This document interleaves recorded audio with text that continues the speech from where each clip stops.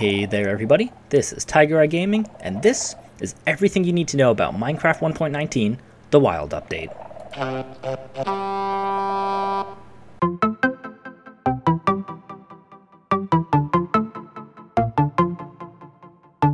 In this video, I'm planning to give a brief overview of all the significant changes that have occurred in Minecraft 1.19, ranging from these guys right here, the Allay, to the Deep Dark and everything that comes along with it, like these ancient cities and the Warden, to mangrove swamps, as well as these goat horns that I have right here in my first inventory slot. Now, as you can tell, we are currently in the Deep Dark, and particularly in an ancient city, so we're going to start with these. As I'm sure many of you know, the Deep Dark is a new, underground, overworld biome that was technically intended to be part of Caves and Cliffs. So, in a way, this update 1.19 is kind of Caves and Cliffs Part 3, but the developers just wanted to take a little bit more time to make sure they got this biome right. So instead, it's been delayed until now, Minecraft 1.19. Now, I'm taking a lot of this information directly from the wiki, so if you want to know a little bit more, you can always feel free to head over there. But the Deep Dark is an overworld biome that typically generates underground beneath areas with a low erosion value. That's what the wiki says. So that often uh, ends up being underneath mountain peaks or plateaus. Typically, this biome's also pretty dimly lit, as you can tell by that little icon in the top right of the screen, I currently have night vision, but if I were to be in here without night vision, it would be really, really dark. Really, the, the only sources of light under here would be these torches. I, am not sure the glow lichen really spawns in. It, it really does get nice and atmospheric here if you don't have the night vision effect.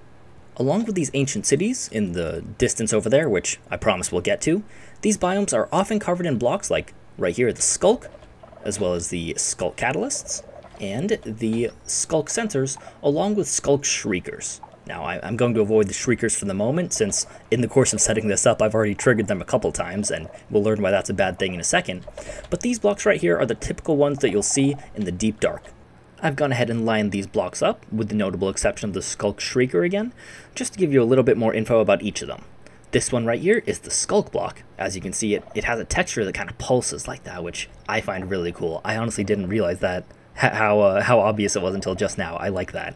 But yeah, the Sculk block is a largely decorative block that you'll find down here, often covered by Sculk veins. The, those are the uh, little vine guys right here. And much like uh, these other two blocks right here, if I go ahead and switch back into survival, the main tool that you can break them with is the hoe, although they will break with anything. So as you can see, there you go, I just broke it with my hand and it was pretty easy. Technically the hoe is a little bit faster, but uh, you know, you can break it with anything. You could also hopefully tell there that we actually got a little bit of experience from that, and uh, I'll explain why that is in a second. But yeah, you do get a little bit of experience from breaking sculk blocks without silk touch. As you can see, it's not a huge amount, but it is a bit. Now, you don't necessarily get that from the vine blocks, which makes sense, so those are the sculk veins. But next up, we have the sculk sensors right here. So in general, what these sculk sensors do is they pick up vibrations from within a 9 block radius around them. If they also happen to be within a, a certain distance of a sculk shrieker, and the noise is made by a player, they'll then take that vibration and pass it on to the sculk Shrieker. If the noise is significant enough, the Sculk Shrieker will then make a loud noise, and the Warden will become one step closer to spawning in, or if you've disturbed it enough times, the Warden may even spawn in at that point. Other than that, though, if the Sculk Shriekers aren't around a Sculk sensor, they're pretty harmless. You know, you, you can see those little particles emanating to them, and they actually emanate a redstone signal, which is pretty cool. They interact uniquely with comparators. I've gone ahead and placed a comparator down here just to show you, and yep, as you can see there by these two uh, redstone torches, if you will, lighting up on the comparator, it lights up whenever it senses a vibration from either the player or from that allay that I think might still be roaming around here.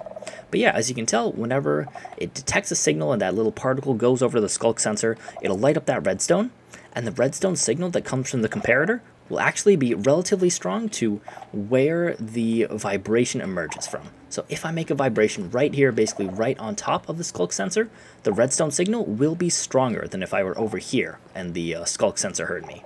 One final thing to note about the sculk sensor is that they interact uniquely with wool. Basically, wool has an occluding factor, which means that if you place it down like this, the sculk sensor actually won't detect it, as opposed to other blocks, where for example, if I break this block right here, and sorry, the Allay is confounding this a little bit since the sensor is picking up some of its movements, but if I break this block right here, there you go. See, it lit up very strong because that came from right near the block. But if I break this wool block right here, yep, as you could tell, nothing happened there. Let me go ahead and do it again as soon as it goes dark. See, there you go. Nothing happened. And if I place some wool blocks down, nothing again. But if I move around on the wall, it will not pick up those vibrations. Same thing if an item gets dropped on the wall. See, there you go. Yep, it wasn't picking up those items being dropped on the wall. And finally, I believe it's the same thing if you throw wool down just on the ground like that. Okay, never mind, I guess not. But but basically, wool acts as an occluding factor. So if you want a sculk sensor to not really pick up your vibrations, you can also do that. And it should be a lot less sensitive to any sort of movements that happen if wool is surrounding it. Much like the other sculk items we discussed, this block can also be broken with just your hand or with really any tool, but the hoe is technically the tool of choice, and similarly again to the others, if you break it on a tool without silk touch, it'll just drop experience. So there you go, that dropped a little bit more experience than the uh, plain old sculk block, but not too, too much. Finally, this guy right here is the Sculk Catalyst, and this guy uniques pretty interactly with the player and other mobs. Just to give an example, oh, wait, that was a bad idea actually. Back to creative.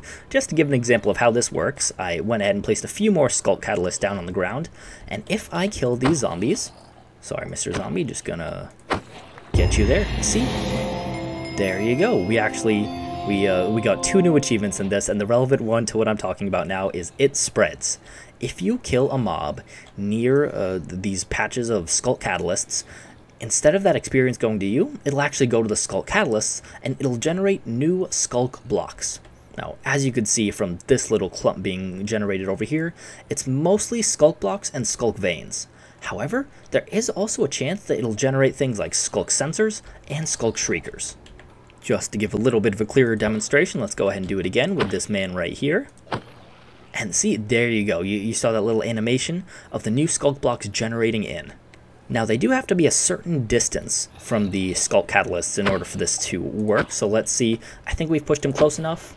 So there you go, he did generate there, but if we happen to do it over here, let's say, I think this may be just too far. Okay, I'm actually not sure if anything generated right there. But yeah, the, the point stands. Once you get a certain number of blocks away from the Sculk Catalysts, it'll no longer have that same effect. Alright, I've gone ahead and just checked on the wiki, and apparently it's within an 8 block radius that's how close a mob needs to be to uh, for the experience to go towards generating new sculk blocks. In addition, the wiki also tells you that there's a 9% chance of new sculk sensors spawning in as a, as a result of uh, experience going towards these sculk catalysts, and there's a 1% chance of a sculk shrieker spawning in. So Ultimately, those ones are a little bit more rare than the Sculk sensors and the Sculk veins. In fact, they're a lot more rare, but it's not impossible, so just be just be wary of that. You know, if you're in the deep dark and you're trying to avoid triggering the Warden, just be wary of uh, killing too many mobs nearby these Sculk Catalysts. But yeah, finally, this block can also be broken just with your hand. As you can see right here, it's a little bit slower, but it will eventually break. Oh, forgot that you were there. Let's get one more demonstration. Alright, see that was a pretty strong one. Oh, and we got a potato. Okay, we're switching back. But yeah, basically, long story short, the hoe is the tool of choice for these guys, and similar to the other guys, it drops experience, and unless you use a silk touch tool, it will not drop the block itself. It's a very cool update to explore, and there certainly is a lot to it, so I'll try to cover as much as I can, but I won't be able to cover everything. That being said, another one of the things that we can get to covering is this big, big structure right here, the Ancient City. These palace-like structures are similar to end cities in that they're made up of smaller structures that generate next to each other to, uh, to form completely independent ancient cities. I.e., they're not like jungle temples or uh, desert temples where you'll see the exact same structure every single time. They're kind of modular, and so they just they, they generate in different ways every single time there are, you know, a certain number of specified structures, and if you're interested in getting into those, I do suggest going over to the Minecraft wiki and checking them out for yourself. Or honestly, I kind of recommend just exploring the structure yourself. Yeah, it's a little bit scary, but you know, as long as you're prepared to fight the Warden, which again we'll get into, it really is a cool new experience in the game. Now, one of my favorite things anytime a new structure is added into the game is seeing what the loot is like. So this right here is just the first random chest I, I happen to come upon. And okay, it looks like this is decently representative because we've got some coal. We also have a compass in here, and we have two potions of regeneration. That's really cool, along with an enchanted diamond hoe. That's really nice. I'm going to go ahead and fill this chest up now with the typical loot table to uh, show you some of the things that you can typically get from these chests. Alright, so this right here is the list of potential loot that you can get from these chests. Luckily, it actually just fully fits into, into a chest. But yeah, there is some pretty impressive loot here. At the top, in the more abundant category, we have coal, bones, soul torches, as well as books, potion of regen, and then any sort of enchanted book. You get a little bit further along, and then you have things like a disc fragment of the Music Disc 5, which I'll get into in a second, along with Echo Shards. Again, I'll get into in a second. But you also have things like Amethyst Shards, Glowberries, sculk, Candles, Bottles of Enchanting, the sculk Sensors, a specifically Swift Sneak enchanted book, which is a little bit less common than the other enchanted books apparently, but you can still find them down here. You can also find enchanted iron leggings, Sculk catalysts, compasses, music discs like 13 and Cat, a lead, a name tag, a saddle, an enchanted diamond hoe with a little bit of durability taking off, an enchanted diamond legging, and like I mentioned, an enchanted golden apple, and the other side music disc. Now, just to briefly get into the new items that are included in here, first you have these disc fragments, which are for the music disc 5. Now, they're not specifically aligned or anything, all you need to do is find 9 of these guys right here, and you're able to craft that into one music disc number 5. Let me go ahead and give you an example of that right now we will do a disk fragment and let's just get a stack of those and then grab up a crafting table just to, just to show you. So boom, we place that down. Nine of these into a group like that and boom, that makes the music disc 5. Next up from the disc fragments, we have the Echo Shard, which is used to create the recovery compass. Similarly to the uh, disc fragments, you need a number of these Echo Shards right here, so let's go ahead and grab a stack. And what you need to do is place a compass in the middle like this, then you place echo shards all around it, and that allows you to create a recovery compass. Now, as you can see right here, the compass is kind of just, you know, messing around in my inventory since I haven't died yet. And that's actually the purpose that this compass serves. It points you to the most recent place where you died in your world. Now, I know it's not necessarily a entirely game-changing tool, but that is a pretty useful thing.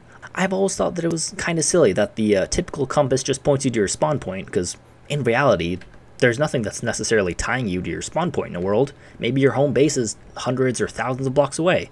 So you know what? I think this is a useful tool, even if the Echo Shards don't necessarily set the world on fire. Both of those items that we just talked about, the Disc Fragment and the Echo Shard, have a 29.8% chance of spawning in these chests, and what that means is on average you'll have to look through 3.4 chests to find them. Again, as far as I'm concerned, that's really not bad, and it does provide you with a pretty solid chance to get these new items, the Recovery Compass and the Music Disc 5. Now, moving along from these loot chests a little bit, as you can see here, if we fly over this ancient city a little bit, they're typically mostly comprised of deep slate along with some sculk that's, you know, kind of skulked its way onto the main platform. You also will see a lot of wool generating here along the walkways, which makes sense because uh, it gives you, the player, an opportunity to kind of walk along these top areas without necessarily making too much noise and alerting the warden. There are also a few other blocks that'll spawn in in specific structures within the ancient city, but I'll leave those to you to discover mostly. The one that I do want to touch on over here is this block, which is called Reinforced Deep Slate. If I go ahead and use my pick block tool, that is what the block looks like. We can go ahead and see it from above. That's pretty nice. Yep, pretty solid. It's got a cool little texture. To me, it sort of gives uh, hardened terracotta vibes, you know, having this very specific pattern. Reinforced Deep Slate is also unique in that it cannot be obtained in survival mode. You can stay in there with a pickaxe, you know, netherite, enchanted, everything, and you can keep chipping away at it for as long as you want. I believe it takes around 80 some seconds to break, but no matter what, even if you have Silk Touch, you cannot obtain this block in survival. This block also cannot be pushed by a piston, but it is also completely resistant to anything like TNT or Creeper Blasts, any sort of explosion. So it's a, it's a very unique block. I did also see a lot of speculation that the way it generates in these ancient cities kind of looks like a portal of some sort. Personally, I don't necessarily believe that it's going to lead to anything big in the future, but it hasn't stopped some people from speculating, and who knows? In the future, this could be a great way to introduce some new dimension if that's where Mojang is thinking of taking the game. Finally, just an extra little thing to note, there is also a structure in these ancient cities called the Icebox, which, which can generate with a slightly different loot table. However, I haven't really been able to find it yet, and uh, you know what? I think I'll go ahead and leave that one to, to you all to explore. That one typically generates with items like snowballs, packed ice, baked potatoes, golden carrots, and some suspicious stew.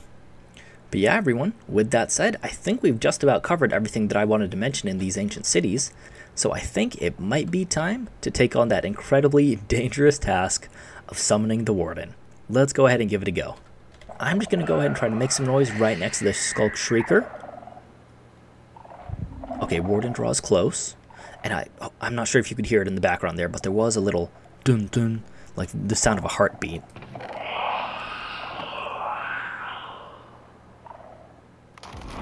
Oh, there we go. Oh my god. so that is how the warden comes out. He emerges like that. It is terrifying. Okay, and has he has he noticed me even though I'm in creative? I'm not quite sure. Okay, well, I, even though I'm in creative and he's not going to come for me, this is still very, very scary. And I think he's actually going for that allay. So, you know let's just take a second to observe. Oh, man. Oh, he hit the allay, but the allay's still alive. Okay. That is impressive. But, oh my god, this man is so fast. And as you can see right there, he's got his sonic boom attack. So that way, even if you try to pillar away so that he can't necessarily reach you with a melee attack, Oh no. Man. RIP Allay, but that just shows you how strong this guy is. To get a little bit more into the details of how the Warden works, the Warden is technically a completely blind mob that is summoned by these Sculk Shriekers right here in the Deep Dark. I believe how it works is you have three chances, and on the third time that a Sculk Shrieker shrieks, you'll go ahead and get that subtitle in the bottom right there, Warden Emerges, and you know, he'll typically, if it's in a, a, uh, a place right like this, you know, where there's just some deep slate on the ground, he'll emerge out of the ground. There'll be some kind of a, a cracking noise, and then he'll just, you know, pop up, and if you are nearby and making some noise, he'll start beating on you.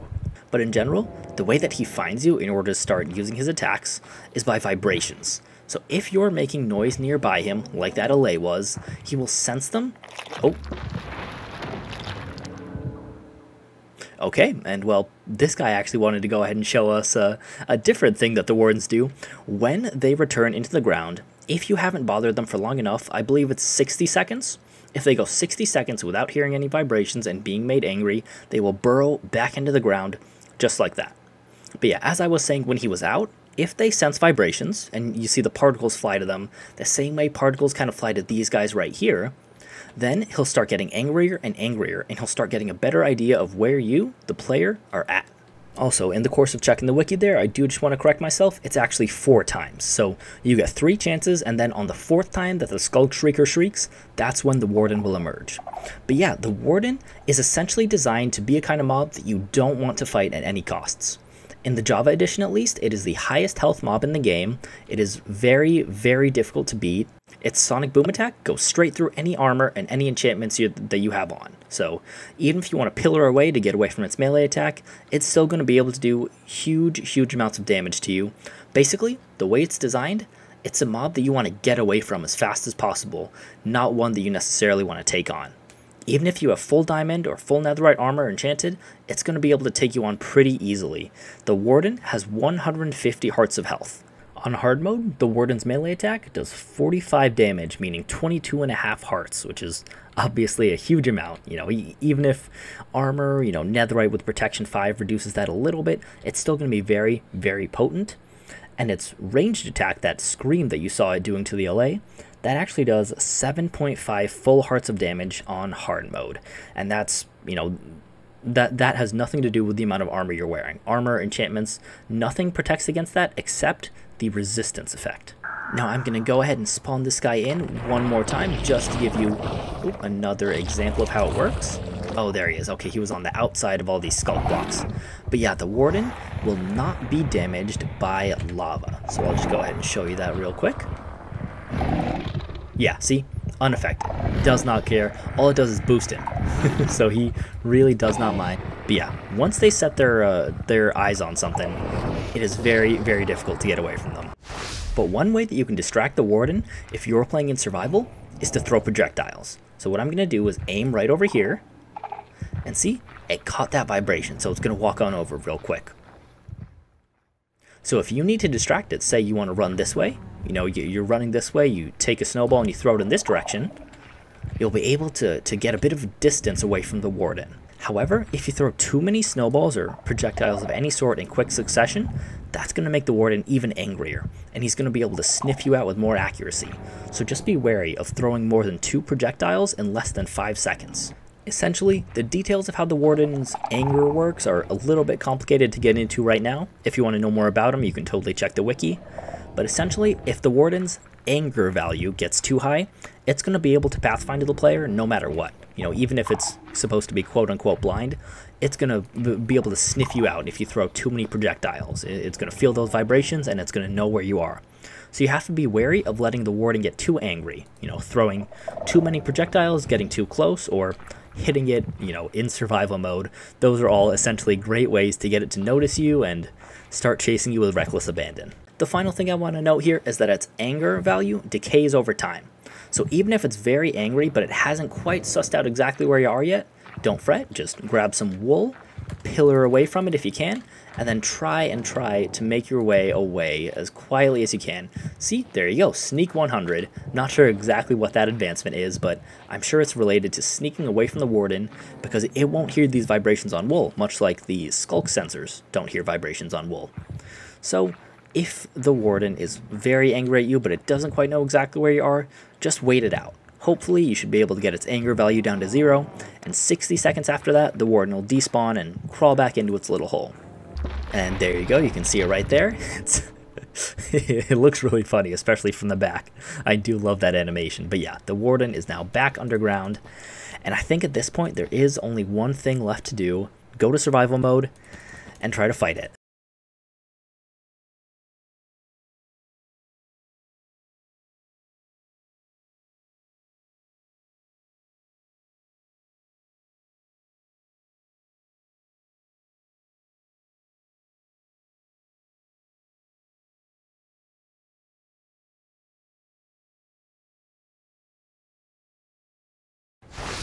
But alright everyone, as I switch my way to spectator mode and finally leave the deep dark in this ancient city, one final thing to mention about these ancient cities, the nice thing about them is that mobs do not spawn in ancient cities, so thankfully you don't have to worry about a creeper blowing up and, you know, triggering a sculk shrieker or a skeleton shooting you over and over making a ton of noise. Luckily you don't have to worry about any of that. The only hostile mob you'll find there is the warden if you have the misfortune to spawn it in. So honestly, if you're prepared, those biomes I don't think are all that bad. If you're not prepared, if you don't know how to deal with the warden, yeah, you, you probably are in for a lot of trouble. But if you are prepared, if you have those projectiles and some wool, or just are generally prepared to sneak around everywhere, you should be able to get away without losing your life to the warden. Well, now that we are back on the surface where it's nice and sunny out here, I think a great next thing to show you is what this guy can do. And this guy, he is the reason we have a certain new item in this game called the Goat Horn. So I'm going to go ahead and go here to the creative menu. As you can see, there are eight different types of horns. So I think what I'm going to do is just clear out my inventory a little bit and grab one of each of these. So let's go three, four, five, six, seven, and eight. So let's just go ahead and uh, try these guys out.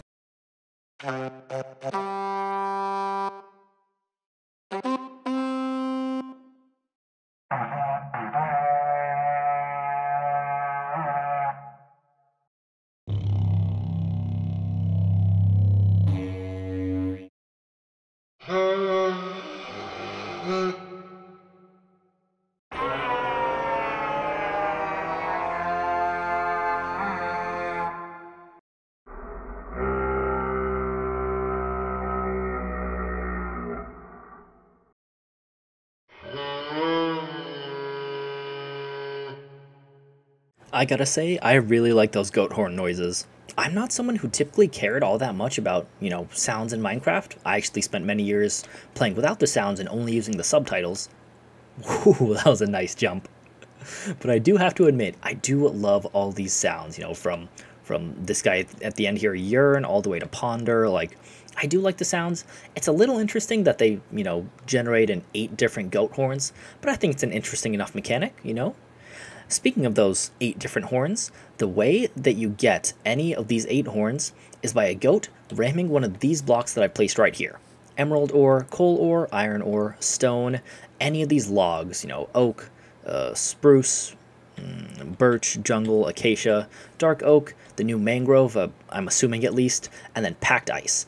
Any of these blocks right here, if you see a goat ramming it, when it rams, it's going to drop a goat horn on release and it's actually not dependent on the block that it hits. I thought that too, but it's actually just a random chance. The way it works is, normal goats will have a chance of dropping either Ponder, Sing, Seek, or Feel if they ram one of these blocks. Those four horns also have a 100% chance of spawning in Pillager Outpost chests. However, the final four, Admire, Call, Yearn, and Dream, can only be obtained from the Screaming goat specifically. For those of you who are unaware, the Screaming Goats are a kind of subset of normal goats who, well, scream. so they make different noises in game, which is also why they drop those four different horns. Again, that's Admire, Call, Yearn, and Dream. And again, if you want to learn any uh, more information about those specific horns or how, you know, how to get them, how to get the goats to ram these items, feel free to check the wiki or other people's videos. So far, I've had some trouble trying to replicate a scenario where the goats end up ramming one of these blocks, but you know, I, I'm sure that plenty of people out there who are smarter than I am have figured out a way to do it. One final thing to note about goats ramming these blocks is that these blocks have to be spawned in naturally. So, i.e. what I've done right here now, this would not work. They have to be spawned in natural blocks. So, so you'd need some packed ice up at the very top of mountain. You'd need one of these blocks to come in a tree you know, any of these wood blocks, the uh, goat would have to be ramming a naturally spawned tree, or any of these ore blocks, they have to be naturally generated ore or stone blocks. Again, that is a little bit difficult to farm up, but you know what, I like that. I like that these horns are a little bit difficult to uh, obtain. And you know what? Go ahead and drop in the comments. If you're still watching this video, go ahead and let me know. Which of these goat horns is your favorite? Personally, I, I find it kind of hard to choose. I do sort of like Seek. Let me hear that one again.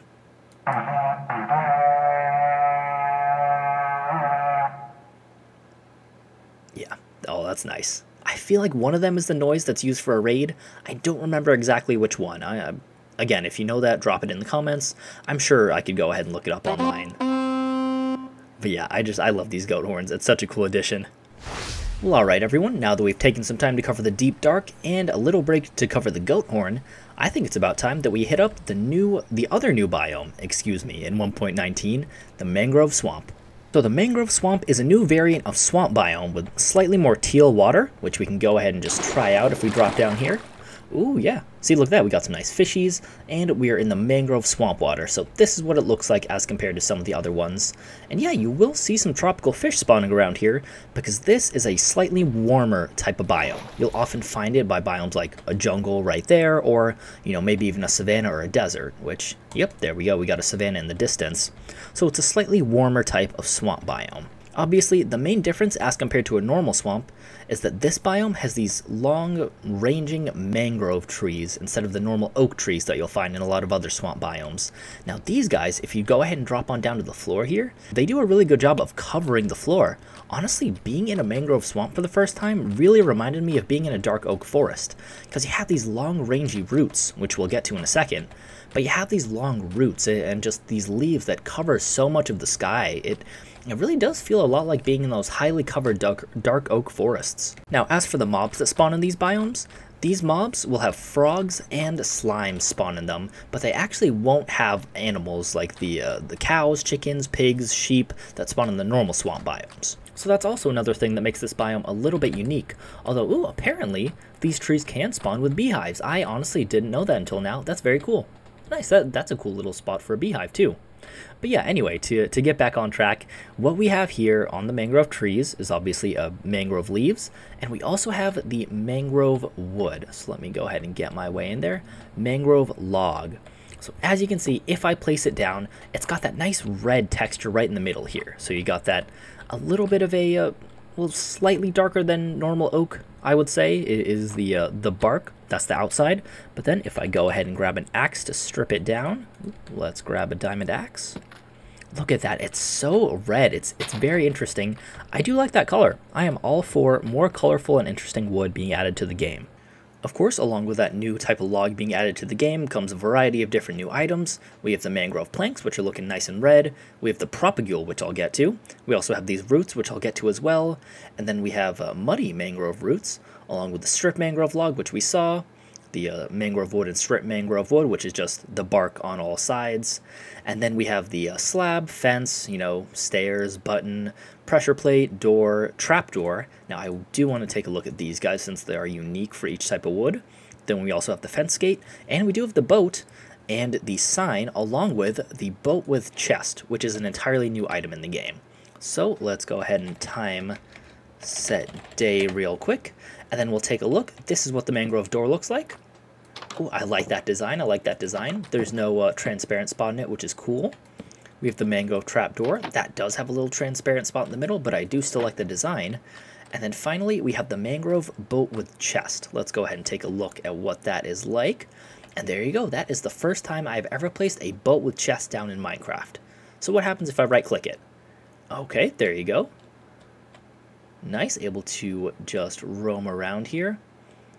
So I do want to know what happens if I shift right click. And there you go. That is how you access the boat with chest. Very, very cool. So as you can see, I now have a stack of bone meal on me. So let's just go ahead and right click this boy a number of times. And there you go. We have a full mangrove tree that's generated. And look at that. We actually have these roots that are generated underwater and the wood doesn't even start until up here. So you know what? Let me go ahead and settle down and break some of these roots. Takes a little while because I am the water. Oh wow, that, that still took longer than I expected. But yeah, the roots right there are another unique block that comes along with the mangrove tree. If we get out of the water, it's a little bit easier to break.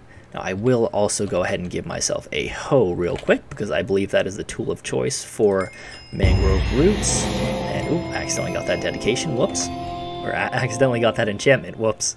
But uh, let me just go ahead and use it. Oh, interesting. Maybe it's not the tool of choice. Okay, hold on, let me check. So I actually got it wrong. The tool of choice for these roots is an axe, which does make sense. You know, roots in real life are pretty similar to the wood of the trees that they have. So there you go, that's how you get those quickly. Although they will drop even if you just use your hands and it's not, it doesn't take all that long to break them. But yeah, I can go ahead and just chop down this little mangrove tree right here. It is a little bit difficult since this one is in the water, but they do work like normal trees. If you break all the logs, the leaves will start to despawn. However, unlike other trees, you won't get these propagules from the leaves breaking themselves, i.e. what you'll actually get them from is, if this is a fully generated propagule right here, you go ahead and break the block, and it drops off the bottom like that. So it didn't come from the actual block, but you only get the propagules from these literal, you know, propagule items themselves. So if I break that, since it was fully grown, it'll go ahead and give me a propagule. Now, I'm not sure what a, uh, a baby propagule, so to speak, quite looks like. Let's go ahead and take a little look there. Okay, yeah, so that's one of the earlier stages of propagule. And let me go ahead and grab some more bone meal just to see. Okay, if bone meal it a little bit. There you go. That is a full-grown mangrove swamp. Okay. So essentially, you didn't see a change in the state of the mangrove propagule once I placed it on the ground and started bone mealing, but you can only pick these guys up when they're hanging from the trees like this, if they are at age equals 4. So let me go ahead and do F3. Oh, come on, F3, there we go. If you look all the way on the right of the screen, age equals 4. So let's see, uh, is there another propagule that I can look at? Oh, that screen takes up so much space. Okay. This one looks a little bit younger, I think. Okay, yes, there we go. Age equals 2. So let's go ahead and build our way up here just so I have a little platform to stand on. And then if I go back to survival mode and I break it, see, we don't get anything. So we need a full-grown mangrove propagule in order to pick that up. Now, another thing you'll find in these mangrove swamp biomes is what I just did pick block on, mud.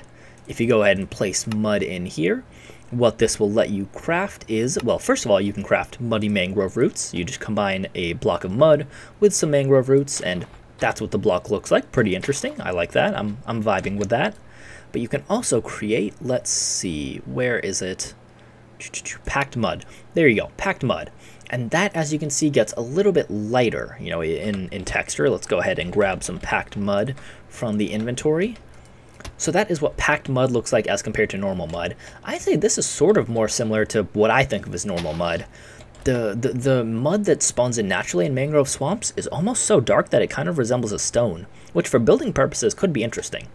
But yeah, over here we have packed mud, again that's crafted with normal mud and a piece of wheat, and that allows you to make mud bricks. So you take four packed mud and you uh, craft it in a, a four like that, and that gives mud bricks.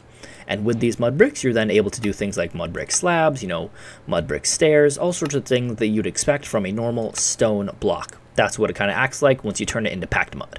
A few final notes about the different types of mud. both of these can be mined with specific tools or your hand. So technically if we go on over here to the mud and we just use our hand, boom, it drops the mud. But for the packed mud, a pickaxe is actually going to be the tool of choice. And for normal mud, Again, you can also mine it with your hand, but a shovel is actually the tool of choice for that one. And another thing to note about normal mud is that it actually technically sinks you down a little bit. So if I go ahead and hit F3, if you look at my Y coordinate, it is at 0.875, i.e. mud doesn't count as a full block. What that means is if you uh, throw an item on top of the mud and you have a hopper underneath it, it's actually going to be able to collect. So that's a useful tool. It's uh, it's much like soul sand in that uh, effect, you know, where the player kind of sinks down. But unlike soul sand, mud does not slow you down. So that's a very interesting little trick. Uh, th the same is not true of packed mud. That is a full block. Same with any, you know, packed mud bricks or any variants of that. But it is a cool little uh, little bit of variance with normal mud. And one final thing I wanted to note about mud is, you know, I, I came over here just across the river to the plains biome. If you right click on a normal dirt block along with a coarse dirt block or a podzol, I believe, then uh, what you get is mud. So right here, I'm just right clicking with this water bottle. And I believe if I'm in survival, yeah, that uses the bottle up. But there you go. You can right click on normal dirt and turn it into mud. And one final, final thing to show you is this. If you have mud placed on top of a block with pointed dripstone underneath, i.e. you have some block here, you know, maybe it's stone, maybe it's whatever, and you have pointed dripstone coming out of that block, if this block right here is mud, it will eventually turn into clay. So technically, clay is now renewable since you can turn mud into clay through this process using pointed dripstone. Oh my god, I swear it's literally stormed or rained for like four Minecraft days straight. Let's go ahead and clear up this weather. I'm just just trying to do a little walkthrough here. Okay, thank you. Anyways, before I was rudely interrupted by the rain, one more thing, or I guess a couple more things that have been added to this update, are frogs. If I go ahead and right click here, we have the white frog spawning in, and it is the white frog because that's the warm variant. However, if I go someplace that's a little bit colder, the frog type, the, the frog color rather, will actually be different. Yep, so I've just come over here to a plains and I've gone ahead and spawned in some frogs and here they show up as orange. So that is the temperate type of frog. And now I've gone ahead and teleported myself to an ice spikes biome, because why not? It's pretty clearly cold here. And if I spawn these boys in, here they show up green. Very cool. Wow, I like this green color a lot. These guys are very pretty. Their little ribbit mouths going. But yeah, they are very chilly, but you know what? I mean, the green frogs seem to be enjoying it. And as you can see here, you know, these frogs do also like to hop around, and that is one of their primary behaviors. They will uh, jump, croak, swim, and slowly walk on land. And, we've been seeing a little bit of jumping right here. But yeah, these guys are comfortable both on the land and in the water. They are able to jump over five blocks tall. Yeah, that was that was a pretty beefy jump right there. And uh, they're actually a little bit faster in water than on land. So I wonder if I can go ahead and give you a little demonstration of that if we come down here. Yeah, I just went ahead and TP'd myself to a nice snowy area. But yeah, if we spawn a frog in the water, I'm sure he'll be very, very comfortable here as well. Oh, interesting. So they both actually wanted to go to land first, but then they hopped right back in the water to swim around. So yeah, these guys are comfortable in, you know, both water and land. Now, these guys, similar to a lot of other passive mobs in the game, can actually be bred, and the way that they are bred is with slime balls. So as you can see, if I'm holding a slime ball in my inventory here, and these guys start crawling towards me, go ahead and right click and right click. And okay, my particles have actually been turned off, but if I go ahead and turn those back on, they're going to go ahead and uh, look at each other, and I guess that's all they needed. So they have gone ahead and spawned up these tadpole eggs. And technically, these right here aren't really, you know, tadpole eggs. I just couldn't remember what they were called. Technically, they're called frog spawn. These can only be placed on water with at least one air block above them, and they take up to 10 minutes to hatch into tadpoles. Also, a side note here, these guys are uh, unobtainable in survival mode. You know, the, the only way to get them in survival is to mate two frogs together, then they'll come to some water, lay down their eggs. Alright, well, as you can hopefully see there in the water, we now have some little tadpoles swimming around. So yeah, again, these guys can spawn in groups of up to uh, of two to six from those frog spawn eggs, and yeah, they they unlike frogs can only be in the water. They will just flop around like a fish on land and eventually die, and they unlike frogs will be hunted by axolotl too. So if you need to protect them, you know, just make sure to keep that in mind. But yeah, these guys will eventually mature into frogs. Their progress towards doing so, I believe, can be sped up towards slime balls. Yep, that's right. If you go ahead and right click them, you get those particle effects. So hopefully this guy will mature nice and quickly. But yeah, what type of frog they turn into depends on the biome in which they mature. So right now, what are we in? We are in, uh, oh god, there's so many info. Okay, we are in a river biome. So yeah, I'm actually not sure technically Oh, there you go. I guess he turns into an orange frog. And yeah, interesting. I also saw a little bug with the subtitles there, which is funny. But yeah, so I, I, guess in a river biome they turn into the orange frogs, and you can speed up their process of growing into an adult with slime balls, much the same way that you can uh, breed these guys using slime balls. Now, I believe the final interesting thing that we want to mention about frogs is how they interact with two other mobs, specifically magma cubes and slime. So I will go ahead and spawn a couple of frogs in right here just so they're right near them. But yeah, if I go ahead and spawn in a big magma cube like that, do they eat the big guys or do they only eat the smaller ones? Don't be shy. There we go. Okay. So he just ate one of the little baby magma cubes, and what we got was an ochre froglight. And the type of froglight that you get from a frog eating one of the magma cubes depends on what type of frog it is. Since this guy is a temperate frog, he goes ahead and spawns in this right here, this ochre froglight. And to me, this looks a lot like the sea lantern, but yeah, it's a, it's basically just another option for lighting. And you know what? I it's a bit of a unique mechanic, but I do like this block. I think it's a pretty useful and, and cool thing, and setting up farms for this is very, very interesting. Now, I did also mention, I believe, that these guys can eat slimes. So yeah, let's just spawn in a baby slime real quick for them to get a lick. Come on, I think I think it does have to be the babies, which makes sense. Oh, you gonna go for him? Here's a baby. Come on. Oh yeah, he's coming over. And there you go. It's such a funny animation. But yeah, I guess these frogs, eh, if you want, could potentially be used in some kind of slime farm to be a pretty efficient killing mechanism. But yeah, just to give another example of a different type of froglight, there we go. This is a cold weather frog, and he spawns in a verdant froglight. That's a bit of a greener one. So, you know, you can see they're sort of tinged with the uh, same type of color as the frog. And yeah, these guys, they offer up a lot of light, which is why the, uh, you know, the, the ice is starting to melt beneath them, since that's the mechanic with how ice works. And I believe, yeah, they offer 15 or no, sorry, they offer 14 block lights. So these guys are very, very bright, which is why they're quickly starting to uh, melt the ice right here. Let me go ahead and show you the warm weather frog light. I tell you, these biomes are not super common. I've had to go thousands and thousands of blocks away. But yeah, this is a nice example of a swamp that happens to be a, a lot more swampy, you know? there's a, there's a lot more water here as opposed to real land, which is, a, you know, a cool little thing. I, I appreciate that change about this biome in particular. However, let me go ahead and get to some land. We will spawn in... Oh, interesting. Oh, that was a river biome. Okay.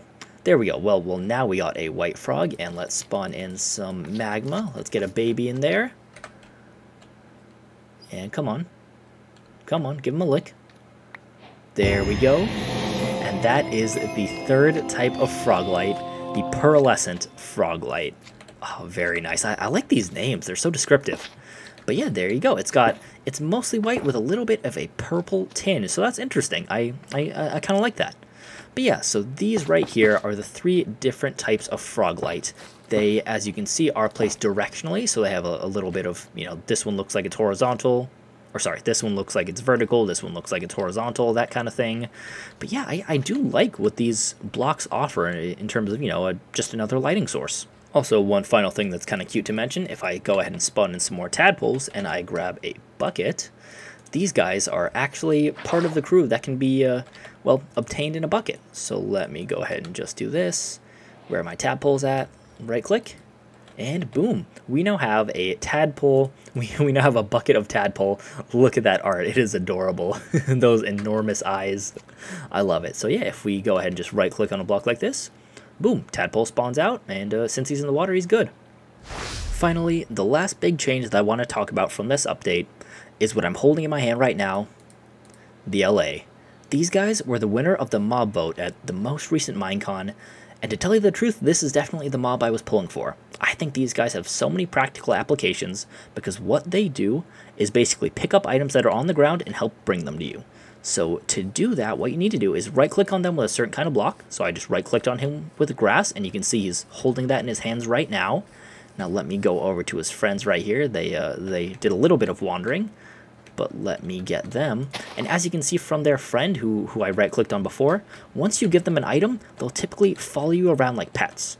And these guys are actually pretty quick. As long as you're not in the air, you know, flying with rockets, they'll do a pretty good job of keeping up with you. So that is definitely a plus. But yeah, what these guys do is once they're holding a specific item, let me go ahead and uh, get some more. What you can then do is just throw it all on the ground, you know, just like this. Toss a bunch of grass everywhere, and what they'll do is go around and pick up those grass items. And once they found, you know, all the grass in the area, once their pathfinding can't find any more, they'll run back over to you and toss it to you, which is why I just got that achievement. So there we go. The full rest of the stack that I didn't have, they just handed it back to me. That's what these guys do. They find items on the ground, and if it matches what you've given them to hold in their hands, they'll bring it to you. I am a big, big fan of what this potentially means for farms. However, there are some limitations. For example, if you don't want them to bring the items directly to you, but instead you want them to bring them to a specific location, what you can do is play a note block nearby them. There we go. So you saw those little vibrations going out. Let me do it again. Yep, all those vibrations went out to all three of those allays, which means that this is now their preferred note block. So what I'm going to do is, you know, sprinkle these grass blocks around again, since that's the block they're locked to. And once they finish picking up all the grass blocks in the area, let's go ahead and see what they do. There you go. They will toss them over to the note block. Now, the thing with these guys is they're not super super particular with where they toss it. So if you're trying to do some kind of setup where you have hoppers on the ground around it, which, you know, makes sense, that, that'd be a pretty logical uh, thing to do in this area, it can be a little bit difficult to get the exact location right. However, one thing I've seen is uh, people pushing minecart hoppers into this note block. That way, you know, it's, it's, its hitbox is liable to pick up items that might be anywhere around it or on top. So that's a pretty useful idea. However, as you can see there by the end, if I go ahead and do this again, since it's been more than 30 seconds, they will no longer bring the grass blocks to the note block. They will bring the grass blocks to me. And that's because the grass block locking thing only lasts for 30 seconds. So if I want the Allay to bring a grass block to the note block mm-hmm. again, I've got to right click it one more time. Otherwise, they're just going to start bringing it back to me. So that is a bit of a limitation with the allays that can be a little difficult. You'll have to make sure that the note block gets triggered at least once every 30 seconds if you want them to stay locked on it. However, that's not, you know, necessarily a huge problem. Clocks are a big thing in Minecraft, and interesting. Okay, so I guess those two didn't hear the mm. vibrations. Let me do it mm. again. There you go. So they're all very aware of it now. So I will do this one more time. Just toss a bunch of grass on the floor. And once they finish picking it all up, they should, instead of giving it to me, give it to the note block. Yep, there you go. However, if I were to wait another 30 seconds and toss the grass on the floor again, they'd bring it to me. So that's something to keep in mind with these guys. However, they are a super, super useful mob nonetheless. Another nice thing about these guys is that they actually naturally regenerate health, since, you know, they're relatively rare, and we'll talk about where you find them in a second. Since they're relatively rare and somewhat hard to find, they naturally regenerate health, which is great they actually naturally regenerate two health points a second, which is one full heart. And they have 10 full health points, so as much health as the player, and they regenerate one heart per second. So that's very, very handy. Unless you have a warden chasing them, like you know we saw at the beginning of this video, that makes it a lot more difficult for them to die. One of the main two spots where you can find these guys is actually in the Woodland Mansion. And as you can see here, they're actually being kept inside these little cages, which man, that's that's that's very hard to watch. You know, you just see these little blue guys floating inside these prison cells, and there's an evoker guarding them. But yeah, if you uh, you know take care of the evoker in survival mode, you can get inside here. All you need to do is then right click on these guys with an item, and boom, perfect. And then they will follow you around forever. So you can break them out. You know, we can do the same with this guy right here. Boom, break him out. Boom, break him out. Oh, no one in here. Okay. And boom, break this guy out. He's got a bigger prison cell. So yeah, those are the main two locations that you can find these guys as of now. They'll naturally generate at these woodland mansions and at some pillager outposts. And here at these woodland mansions, they'll be in these little stone cages. At pillager outposts, they'll be in similar cages, just ones that are made out of wood. So uh, yeah, these guys are, are, definitely a very useful and interesting new addition to the game, and I'm really excited to see what some of the technical community are able to do with their capabilities. One final note, as of right now, there's nothing official about it, but in future editions, I believe they are making these guys duplicable. I, I think it's something to do with an amethyst shard and a, a jukebox, I believe. But yeah, um, that is uh, that's not something that currently exists, but in future editions, that's something to certainly look out for. But alright everyone, with that said, I think we have just about covered all the major new changes in this update. Of course, there are a few more subtle changes, and if you want to learn more about those, you can always go ahead and check out the wiki. There are, uh, you know, plenty of small texture changes, as well as a change with how mobs spawn in the nether, you know, the, the light levels that they can spawn in at. But yeah, those are the most substantial changes in this update. The Deep Dark, Ancient Cities, Mangrove Swamps, and Allays. If you have any questions, feel free to leave them in the comments. And you know what, if you enjoyed this video, please, please do consider liking and subscribing, as well as sharing with your friends. It really does help me out, and I put a lot of work into making this video. For those of you who are interested in my Let's Play, don't worry, I am hoping to be making new episodes of that soon, especially to explore all these new changes in 1.19.